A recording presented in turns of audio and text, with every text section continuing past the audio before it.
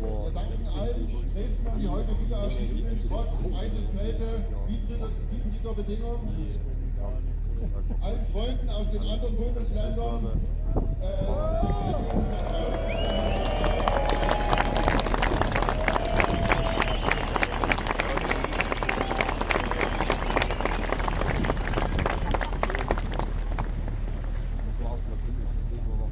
Wir hier in Dresden würden uns sehr freuen, wenn die anderen äh, Pegida-Demos in Berlin, in Köln und so weiter gut vonstatten gegangen sind, ohne Krawalle, äh, ohne äh,